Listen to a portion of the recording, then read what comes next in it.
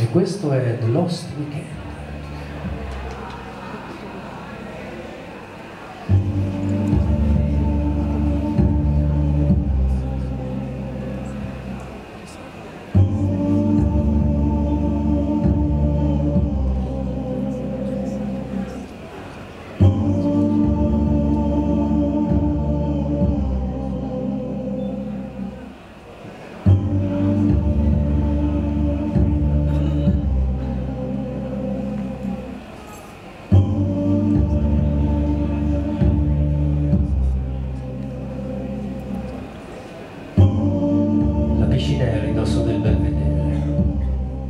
La forma di un fagiolo. Se si scende in acqua servendosi della scaletta si è in territorio californiano, ma basta fare un paio di bracciate verso la sponda opposta per ritrovarsi in Nevada. Il confine federale divide in due il Col Niva Lodge come fosse la lama di un taglierino, avanza senza risparmiare nulla vetrati, frigoriferi,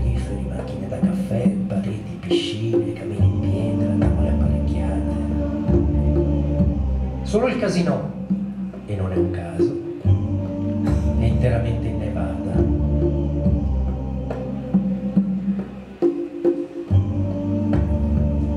È la mattina del 28 luglio 1962. Sinatra è seduto in costume da bagno su una sdraio lungo il bordo piscina legge il giornale. Pare accigliato. Forse semplicemente infastidito dal riflesso del sole sugli occhi. Sebbene abbia 47 anni, un topè appiccicato al cranio e da qualche tempo soffra di impotenza, il suo fisico smilzo per certi aspetti ancora puberale maschera brillantemente segni dell'età. Gli anni bui sono definitivamente alle spalle l'irrequietezza Cerca di combattere l'insonnia a forza di alcol e psicofarmaci sul palco. Tra una sofisticata canzone d'amore e l'altra continua a prendersela con quei giornalisti, specialmente donne, che passano il tempo a frugare nella sua vita privata, tirandone sempre fuori qualcosa di maleodorante. Dall'ora della Troia e della Frigida, le minaccia, le mette in ridicolo, fino a quando, con uno schiocco delle dita, non ordina l'orchestra di reimmergerlo in quel vapore di archi che avvolge ogni sua esibizione, ritrovando in un colpo tutta la sua compassata eleganza. Parlando di sé, Sinatra si definisce un uomo simmetrico. È di sicuro un maniaco dell'igiene, dell'ordine, capace di restare in piedi per ore pur di mantenere immacolata la rigidità del tight, quella rigidità che a suo modo di vedere rappresenta l'essenza stessa dell'eleganza. In pubblico predilige il nero, anche se il suo colore preferito è l'arancione nelle sue infinite sfumature dal pesca al salmone scuro. Si tratta però di un colore privato, che Sinatra riserva solo a se stesso o a qualche ospite femminile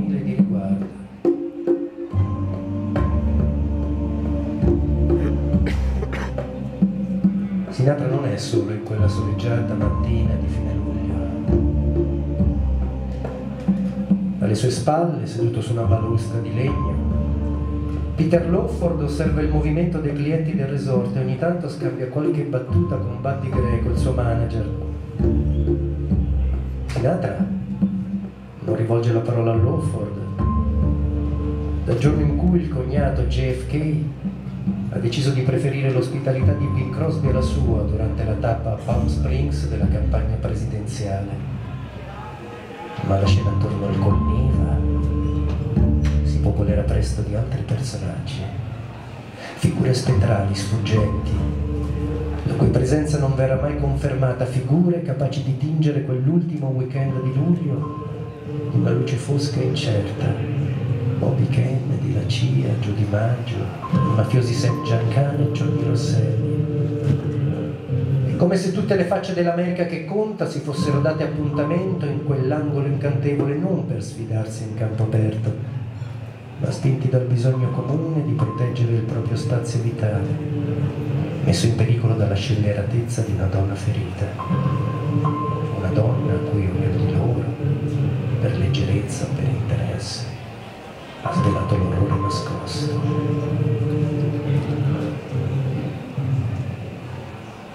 Il gruppo di amici è ancora intorno alla piscina, quando una limousina scura dai finestrini fumenti si ferma di fronte all'ingresso del resort.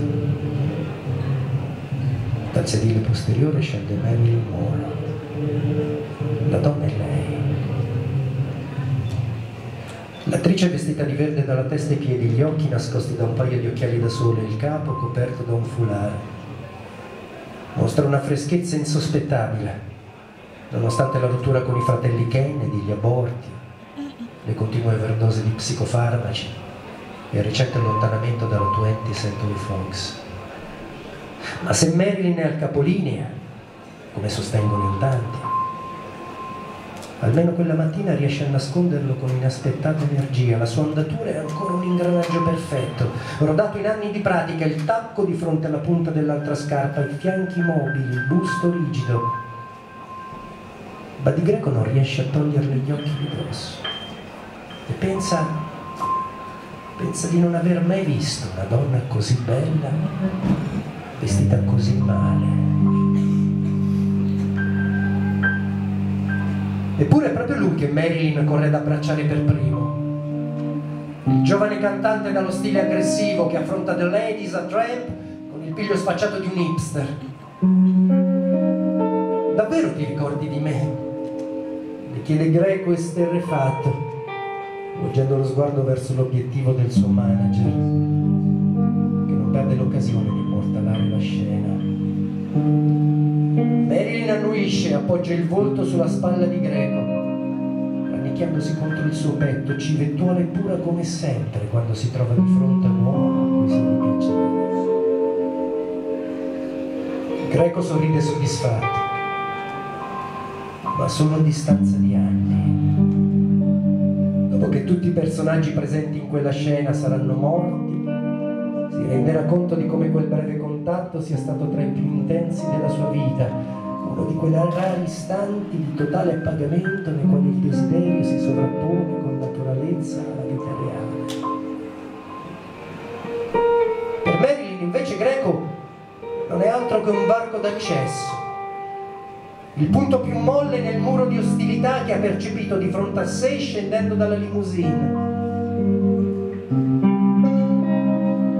Qualsiasi esperienza con un gruppo di persone implica una negazione ha scritto appena qualche giorno prima con la sua solita seriosità introspettiva nel proprio quaderno di appunti io, io non sono mai stata brava a far parte di un gruppo.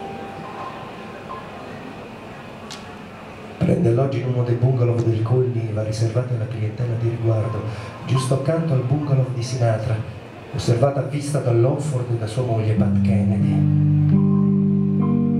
Appena entrata supera di slancio il letto circolare su cui più di una volta in passato ha fatto l'amore con Sinatra. Spalanca la porta a vetri, in veranda si sfila occhiali foulard. Un gesto spontaneo che si rivela però un azzardo.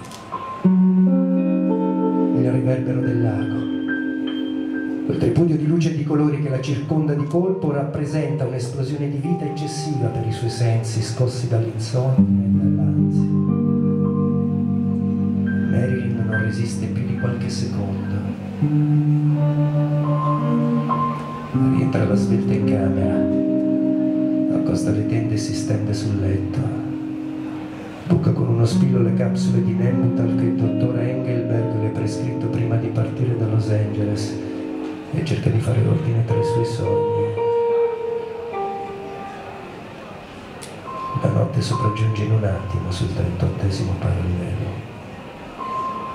Marilyn non se ne accorge nemmeno.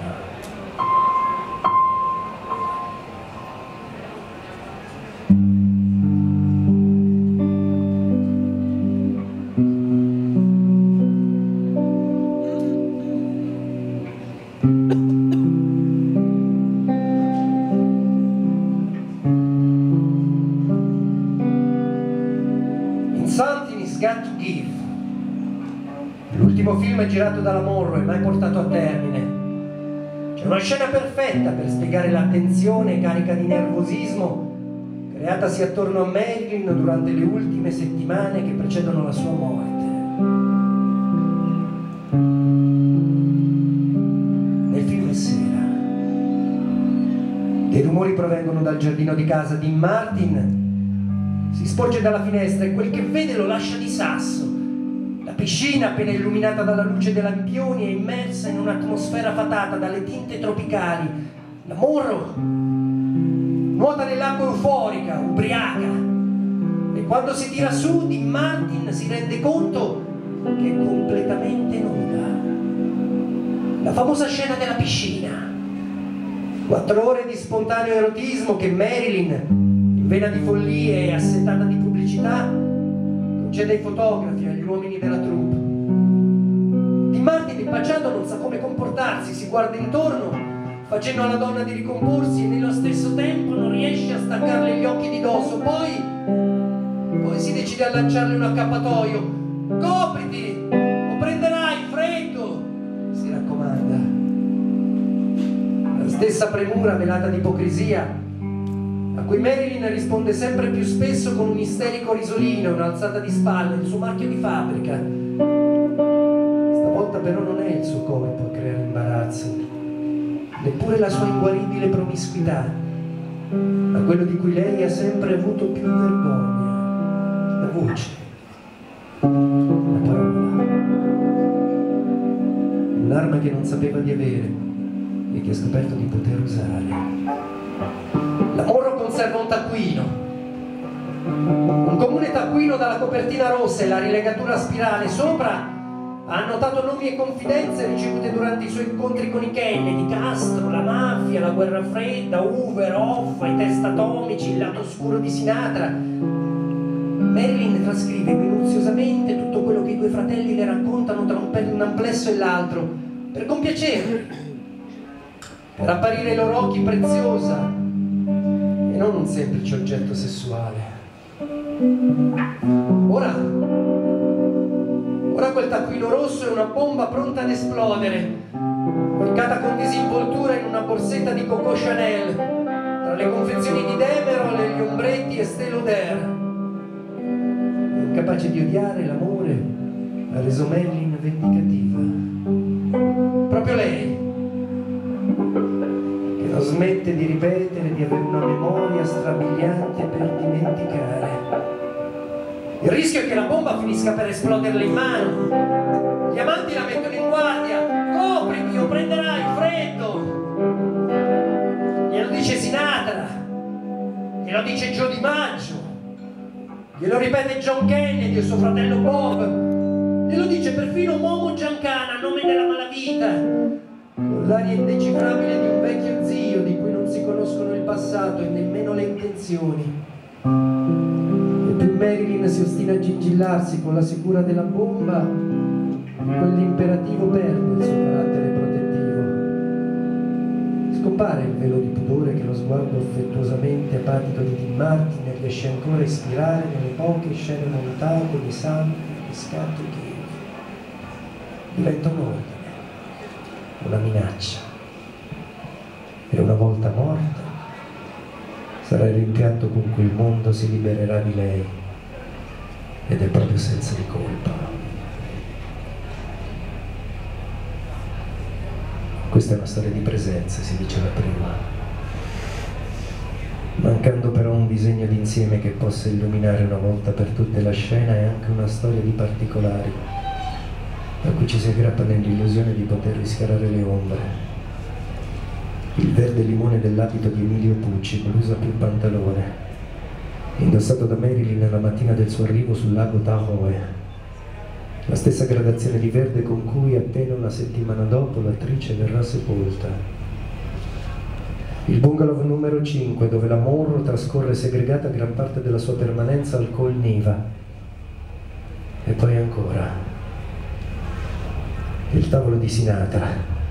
Il secondo e il terzo da sinistra dando le spalle al lago a seconda delle fonti in una sala che ha qualcosa della stazione termale, della sala d'aspetto. Il portatovagliolo col nome di Sinatra stampato sopra, le fiche col nome di Sinatra stampato sopra. Il Colniva, appisolato nelle prime ore del pomeriggio, le voci riverberate dalla calura della controra la cucina appena riordinata dopo il pranzo, odore di canfora e di ammoniaca, Camerieri e cuochi intorno a un tavolo di acciaio, simile in tutto al ripiano di un obitorio, le maniche della camicia rivoltate. Il telefono squilla. Un suono acuto che increspa l'immobilità della scena e Peter Lawford, il renegato, tutti al Colniva sanno della vicenda di Palm Springs e di quanto Sinatra lo odi. Il tono di Lawford è concitato, chiede un caffè al bungalow numero 5, il bungalow della Morro. In fretta, si raccomanda. C'è una persona che sta male. Non dice chi. L'acqua non bolle ancora quando il telefono squilla di nuovo. Stavolta la voce perentoria di Sinatra. Grida dove cazzo è finito quel dannato caffè. Tocca a Ines occuparsene. La giovane cameriera messicana assunta per la stagione estiva si precipita a passi brevi lungo il sentiero di pietra che dal ristorante si spinge verso gli alloggi delle celebrità. La piscina a quest'ora è deserta. Sulla superficie dell'acqua la pagina di un giornale galleggia ormai illeggibile, volata via da una delle sdraio sul bordo vasca, bungalow numero 5, Ines bussa. Nell'attesa che qualcuno venga ad aprire vorrebbe darsi una sistemata alla divisa, controllare che la cuffia sia in ordine, ma le mani occupate dal vassoio e nulla intorno dove poterlo appoggiare. Allora si limita a una breve scrollata del capo, come voler togliere via con un colpo solo i segni della fatica e dell'agitazione. La porta si socchiude appena e sulla soglia appare Pat Kennedy Lawford, la sorella del presidente, la moglie di Peter, il punto d'incontro di due mondi che continuano a flirtare e a combattersi. A Ines Patricia sembra più alta di come appare sulle pagine dei rotocalchi. Le sopracciglia folte le danno un'aria severa, vagamente mascolina da istitutrice. Per un attimo Ines la immagina in divisa, a distribuire caramelle allo zenzero lungo il corridoio di un orfanotrofio. La Lawford ringrazia sbrigativa e le tira via il vassoio dalle mani come se su quel vassoio non ci fosse poggiata una banale tazza di caffè bollente, ma un cuore palpitante, pronto a infondere nuova vita. Fa bene chiudere la porta quando si rende conto di essersi dimenticata della mancia, si volta indietro. In quella camera buia che sa di chiuso e di dolciastro quel particolare sapore che lasciano in bocca le medicine. Le ombre di suo marito e di Sinatra sorreggono il corpo della Monroe su e giù per la stanza, una processione privata di due uomini che non hanno più nulla da dirsi, ma che le circostanze hanno reso di nuovo complici. Una trama perfetta per un dramma di Tennessee Williams.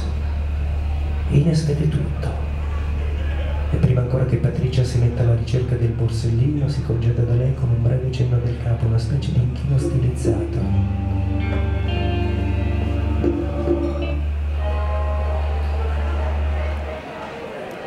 La sera, i Lawford, la Morrow e Sinatra siedono tutti assieme a un tavolo riservato della Celebrity Room, il teatro fatto costruire apposta da Sinatra per sei suoi ospiti. Sul palco Buddy Graham ha appena terminato di cantare I Love Being Here With You, un successo di Peggy Lee, riadattando il testo per l'occasione, un modo simpatico per ringraziarsi gli amici presenti in sala. Sinatra non si accorge nemmeno di essere citato in una strofa della canzone, è furioso, inavvicinabile.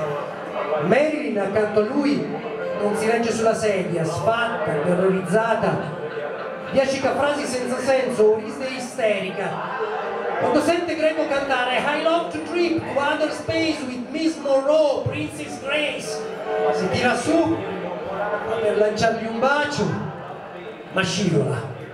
Per non cadere si aggrappa alla giacca di Sinatra sgualcendola irrimediabilmente.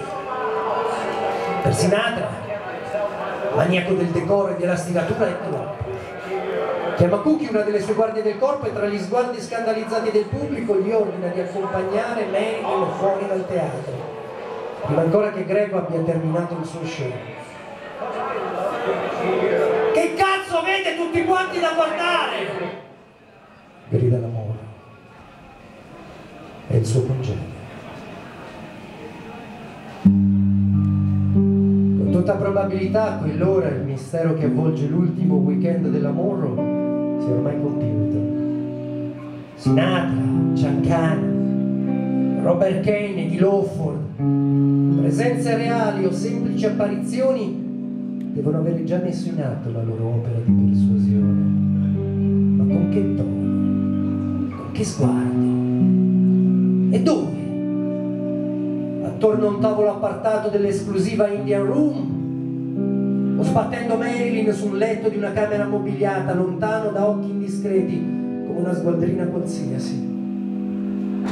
Qualche giorno dopo Sinatra consegnerà a Billy Woodfield, un fotografo di Hollywood, un rullino da sviluppare scattato durante la serata. Woodfield rimarrà sconvolto da quello che si troverà davanti.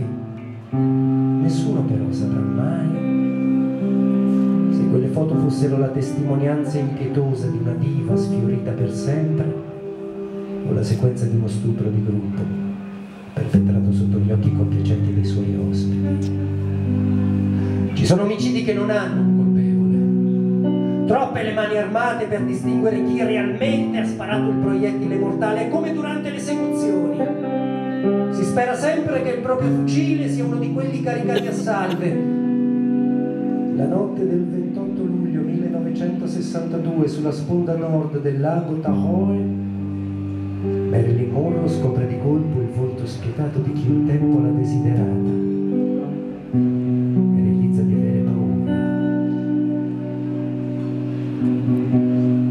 quasi l'alba.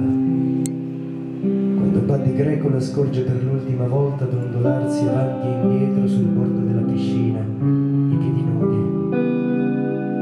Sguardo assente rivolto verso le colline oltre la recinzione dove un uomo, forse lo stesso di Maggio, forse un semplice turista, la sta osservando immobile. A Greco non occorre molto per capire che non è più la stessa donna incontrata poche ore prima nello stesso punto. Una lenta dissolvenza oscura il seguito, l'alba e la partenza di Marilyn, debole al punto da costringere i Lawford a sorreggerla fin sulla scaletta dell'aereo che li riporterà a Los Angeles. Da quel momento in poi ogni gesto avrà il sapore di un addio.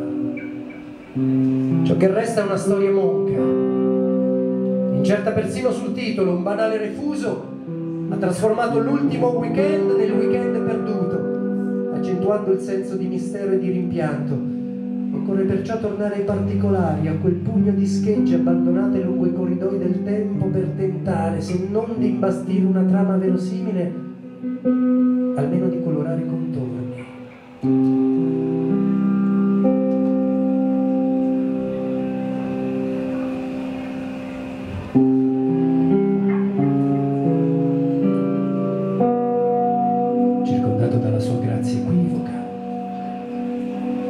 Ecco allora apparire dal fondo della scena il volto azzimato di Paul Skinny D'Amato, il mafioso gentiluomo,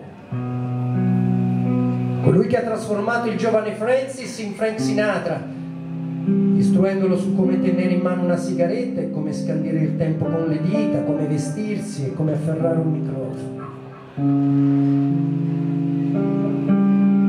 Di sicuro c'è solo una cosa, afferma Skinny testimone oculare di quella notte di luglio in cui tutta l'America che conta si coalizzò a difesa dell'ordine costituito.